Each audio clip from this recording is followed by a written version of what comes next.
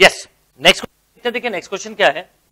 Integral का question है, dx upon x square minus two x plus ten whole square equal times of tan inverse x minus upon three plus f x upon x square minus two x plus ten plus c then a and f x आपको बताना है integral का question है। ये paper अगर हम देखें तो काफ़ी लेंदी और कुछ क्वेश्चन तो ऐसे थे जिनमें आप काफ़ी उलझ सकते थे स्पेशली जैसे ये क्वेश्चन देखे हम। पर अगर आपके पास टेक्निक से देखेगा अगर यहाँ ध्यान दें तो x square minus two x plus ten है मतलब मैं इसको चाहूँ तो अगर पहले स्टेप में ऐसा लिख लू तो कंसेप्ट आपके सामने निकल के आ जाएगा। कैसे बताता हूँ? आपको याद होगा, मैंने आपको बताया हुआ कि a square plus x square हो तो x equal to a tan theta put करें a square minus x square और then x equal to a sine theta put करें x square minus a same thing कि यहाँ पर x minus one पूरे को ही थ्री टेन थीटा ले लेते हैं।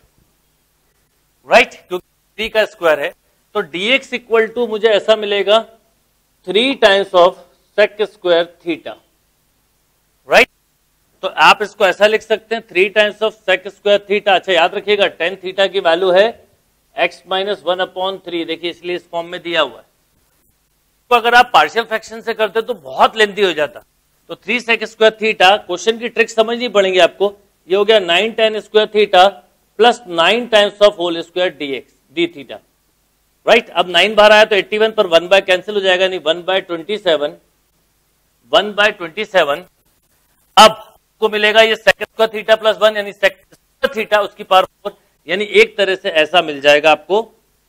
Cos square theta into d theta right cos square theta into d theta इसका मतलब ये हुआ कि कॉस थीटा को आप लिख सकते हैं वन बाय टू तो वन बाय फिफ्टी फोर अब ये ऐसा हो जाएगा। One plus cos two theta into d theta right अब केवल इसको इंटीग्रेट करना है तो वन बाय फिफ्टी फोर बाहर रहने दीजिए। ये आ गया theta plus sine two theta upon two खत्म। अब देखिए थीटा की अगर मैं वैल्यू रख दूँ तो थीटा की वैल्यू क्या है? One by fifty four tan inverse x minus one by three plus अभी इसकी भी वैल्यू रखते हैं one by two sine two theta पर एक चीज़ समझ में आ गई कि ए का जो वैल्यू होगा, वो वन बाय फिफ्टी फोर होगा। और अगर आप ध्यान दें तो ए की value one by fifty four इस ऑप्शन में है और इस ऑप्शन में यानी दो ऑप्शन तो आप रिजेक्ट ही कर सकते हैं, कोई प्रॉब्लम नहीं है। यानी one by fifty four a का वैल्यू आ गया। अब बच्चा है आपको निकालना कि टू थीटा की, इसकी भी मैं आपको टेक्निक बताता हूँ। कि इसके लिए आप क्या करिए? ओवरऑल मल्टीप्लाई तो वो बात खत्म हो गई। अब इसके लिए केवल इतना करिए कि साइन टू थीटा की जैसे वैल्यू बतानी है तो समझिएगा साइन टू थीटा को हम लिख सकते हैं two tan theta upon one plus tan square theta advantage क्योंकि हमारे पास टेन थीटा की डायरेक्ट वैल्यू है, इनका फाइव टू भी कैंसिल हो गया टेन थीटा की जगह वैल्यू रखी तो x minus one upon three upon one plus x minus one upon का स्क्वायर इंटू थ्री का स्क्वायर नाइन यानी three times of x minus one upon nine plus x minus one का whole उसके लिए दिया ही था। मतलब एफ़ एक्स जो है, वो हो गया three times of x minus one यानी ये ही हो गया right this is the right answer f x to three times of x minus one और यहाँ पर अगर हम देखें थीटा की वैल्यू ए की वैल्यू तो वन बाय फिफ्टी फोर तो ये करेक्ट आंसर हुआ। अगर आप इसमें ऐसा नहीं करते तो कई बार हो सकता उलझ जाए। तो आप एक बार देखें परफेक्ट स्क्वायरिंग तो x square plus a square है x square minus a square है और a square minus x square right note down this question yes question देखते देखिए डिफरेंशियल इक्वेशन का क्वेश्चन है और सारे क्वेश्चन डिफरेंशियल इक्वेशन के इसी तरह के आए पर इस पेपर में अगर हम देखें तो चाहे इंट्रीगल हो, चाहे डिफरेंशियल इक्वेशन हो, चाहे डिटर्मिनेंट हो, सभी के क्वेश्चन टाइम कंज्यूमिंग थे लेंदी थे। अब ये बोला if y x is satisfy the differential equation d y by d x equal to y sec square x y not equal to zero then y minus five by four तो एक काम करते हैं, पहले तो लीनियर इक्वेशन को एक तरफ़ बना लेते हैं d y by d x plus y sec square x equal to tan x into sec square x d x oh sorry right अब मैं अगर आपसे बोलूँ इसका इंटीग्रेटिंग फैक्टर तो आप बोलते हैं e power sec square x जो कि आप डायरेक्टली मेंटली सॉल्व करते तो e power tan x solution होता है y into integrating factor equal to ध्यान रखिएगा इक्वल टू क्यू तो ये समझाने के लिए अलग से लिख रहा हूँ, आप डायरेक्ट करते tan x into sec square x करना क्या होता? इसको टी मानते तो ये इसका डिफरेंस और आपको इसका e power t into t का करते तो e power tan x into tan x minus one मिलता राइट तो ये आ गया e power tan x into tan x minus one plus of c ये सॉल्यूशन सेट हो गया। एक्स ज़ीरो पर वाई भी ज़ीरो है तो एक्स के प्लेस पे ज़ीरो रखा। वाई के प्लेस पे ज़ीरो तो ये ज़ीरो यहाँ पर ज़ीरो रखा तो वन यहाँ रखा तो सी का वैल्यू आ गया वन ये सी का वैल्यू वापस रख दीजिए तो आपको मिल गया y e power tan x equal to e power tan x into tan x minus one plus of one पर आपसे पूछा है माइनस पाई बाई फोर पे वाई क्या होगा?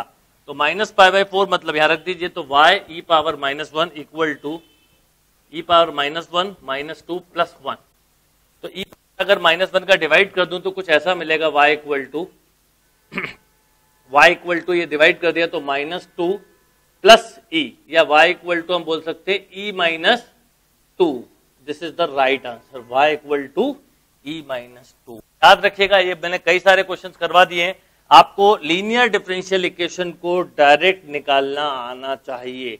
बिना किसी स्टेप के आप लिख सकते हो इंटीग्रेटिंग फैक्टर निकालो, जो ई पावर पी डी होता है सॉल्यूशन होता है, y into integrating factor equal to Q into integrating factor plus of c right note down this question yes next question देखते देखिए नेक्स्ट क्वेश्चन क्या डिटर्मिनेंट का है। और हर बार मैं आपको बोलूँगा, इसमें 10 से 15 क्वेश्चन को छोड़ दे तो हर क्वेश्चन में काफ़ी टाइम लग रहा था, क्योंकि क्वेश्चन ही दिए ऐसे थे। क्वेश्चन है let delta one equal theta cos theta minus x one one x और सेम डेल्टा टू भी ऐसे बट थीटा के प्लेस पे टू टू आ गया है। और आपको बोला है in of the following two theta by two कौन सा रिलेशन करेक्ट होगा? आप इसको डायरेक्टली कर लीजिए, कोई प्रॉब्लम नहीं, जिस फॉर्म में दिया उस फॉर्म में कर लीजिए, क्योंकि जो रिज़ल्ट इसका आएगा, वही रिज़ल्ट इसका आएगा और एक तरीका हो सकता था वैल्यू करके पुट करके कर सकते थे। वैल्यू पुट करके मतलब थीटा की जगह पाई अगर हम डायरेक्ट भी करें टाइम ना हमें खराब करना है तो एक्स के साथ जब करेंगे तो देखिए क्या आएगा? Minus x square minus of one. Right? Minus x square one. Sine theta के साथ अगर मैं करूँ, इस साइन थीटा के साथ तो cos theta plus x sine theta, और अगर मैं इस कॉस थीटा के साथ करूँ तो मिलेगा minus sine theta plus x cos theta. Right? अब जरा ध्यान दीजिए कि क्या होगा। तो डेल वन हो जाएगा minus x cube minus of x. यहाँ पर आपको मिला sine theta plus cos theta, right? Sine theta cos theta. यहाँ पर मिला plus x sine square theta. यहाँ पर मिला minus sine theta cos theta plus x cos square theta. देखिए, ये कैंसिल, इसमें से एक्स कॉमन लिया तो sine square theta cos square theta one तो मिलेगा एक्स, यानी minus x cube minus x. Plus x, ये कैंसिल तो माइनस एक्स क्यूब इसका मतलब डेल्टा वन में अगर थीटा का कोई टर्म नहीं आ रहा तो इंडिपेंडेंट ऑफ़ थीटा हुआ तो डेल्टा कोई फ़र्क नहीं पड़ेगा। वहाँ टू थीटा क्या, कुछ भी लिखा होता तो डेल्टा टू भी क्या आता? माइनस एक्स क्यूब और आपको इन दोनों का एडिशन पूछा है मतलब delta one plus delta two this is minus of two x cube is a right answer simple से तरीके से आप क्वेश्चन को सॉल्व कर सकते थे। Right right? नोट कर लीजिए क्वेश्चन को। यस नेक्स्ट क्वेश्चन देखते, देखिए क्या है? एरिया बाउंडेड बाय ही क्वेश्चन एक तरह से। Region perform by mod x minus y less than equal to two mod of x plus y less than equal to two इसमें लेस देन मतलब होता है बिलो द कर पर मैंने इन सब क्वेश्चंस का एक ही यूनिक तरीका बताया, अगर आपने वो तरीका यूज़ किया तो आपसे कभी मिस्टेक हो ही नहीं सकती। वो ये कि आपको करना इक्वल टू मान के ही होता तो ऐसा सोचिए, अगर ये mod x minus y equal to two होता और mod x plus y equal to two होता तो क्या करते? आप ऐसे ही लिखते। प्लस माइनस टू, ऐसे यहाँ पर लिखते x x plus y equal to plus minus two इसका मतलब देखिए, ये लाइन होगी x plus y equal to two मतलब ये हो गई। X plus y equal to minus two ये लाइन हो गई। Right x minus y equal to plus two यानी वाई का निगेटिव है एक्स का पॉजिटिव है ऐसा हो गया। और ये हो गया। यानी ये क्या बन रहा है? अगर आप ध्यान दें तो सभी जगह टू टू टू का इंटरसेप्ट कट रहा होगा। Two zero zero two minus two zero and zero minus two तो ये बनेगा स्क्वायर। तो आप बोल सकते हैं कि ये अगर तो इसकी लेंथ कितनी हो गई साइड की? अगर इसकी लेंथ देखें तो हो जाएगा root four plus root four, यानी टू रूट टू इसकी साइड हो गई। और अगर इसका एरिया पूछा होता तो root eight in two root eight, यानी एट होता। तो अगर देखें हम तो एक तो स्क्वायर वाला आंसर होगा तो square of side two root two is a right answer. Area नहीं होगा, एरिया होता तो एट होता। अब क्वेश्चन की सॉल्विंग अप्रोच डिपेंड करती है। इनइक्वलिटीज में कंफ्यूज मत होइए। जितने भी ग्राफ वाले क्वेश्चन इक्वलिटीज के होते हैं इक्वल टू मान के करिए। तो आपका प्रोसेस में इक्वल टू अगर लिया तो आपका question within a second हो जाएगा। लेस देन मतलब बस बिलो द कर्व तो ये नीचे की बात कर रहे हैं। तो x minus y equal to plus minus two एक लाइन ऐसी हो गई। एक लाइन ऐसी हो गई। ऐसे यहाँ पर एक लाइन ये हो गई और एक लाइन ये हो गई। बस आपने सॉल्व किया, आपका क्वेश्चन इजीली सॉल्व हो गया। Right note down this question